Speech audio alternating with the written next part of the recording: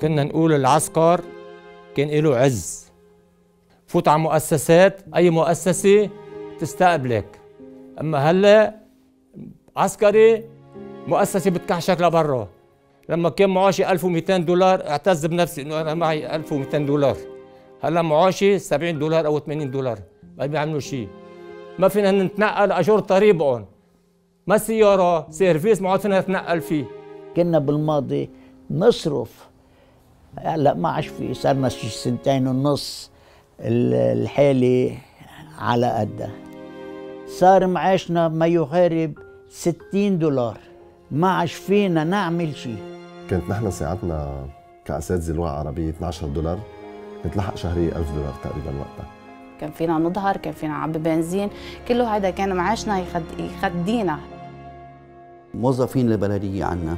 كانت معاشاتهم قبل الأزمة مليون وخمسمائة ألف ليرة يعني ما يعادل ألف دولار بهديك المرحلة. وصلت لمرحلة المليون وخمسمائة ما تعمل 20 أو 30 دولار بالشهر. كل عائلة موجودة بقلب البلدة هي بحاجة لمساعدة. البطالة زادت وصار في أعداد كثير من الشباب والصبايا ما عاد عندهم عمل ال 70 دولار اللي عم ناخذهم انجى أنه ناكل فين بلا مؤاخذة. البيضة والحبة البطاطا ولقمة الخبز.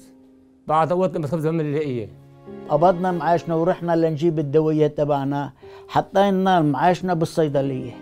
يعني أنا كأستاذ صرت ما عاد اني عين أمشي بين العالم إنه مثلا والله آه توصل لمحل بتختنق. فصار بس اعتمادنا إنه شو قوت يومنا نحن كيف نأمن قوت يومنا Remittances play a key role in Lebanon.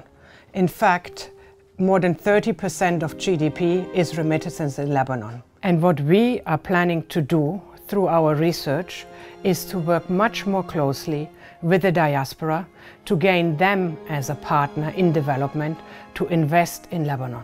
لو ما ابننا بيبعت لنا كل شهر ما بنقدر نوقف على اجرينا امرار لنقول انه بشهرين ثلاثه بيبعت لنا 100 دولار أشهر بيبعت لنا 50 دولار. بهالوضع بحاجة الإنسان تي لأي مغترب يبعت مصاري. ولولا ما دعمت من برا من عمتي ما كنت ابدا أنا هلا واقف على إجري. لو ما المساعدات اللي بتجيني كان من خيي أو من بعض الأشخاص من الخارج وكمان المساعدات اللي عم تجينا أنا ما في كفي. نحن كبلدية عم نحاول قد ما فينا نستقطب علاقات مع المؤسسات والجهات المانحة حتى يقدروا يعكسوا ايجابا على الوضع لنقدر نستمر.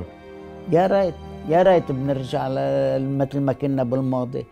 بس بنوصل كمان لمحل إنه بيختنق الواحد. ما في ما في يطلع. بده يختنق. قد ما يضحي يضحي آه ما عنده بقى القدرة يمشي. ما عاد عنده.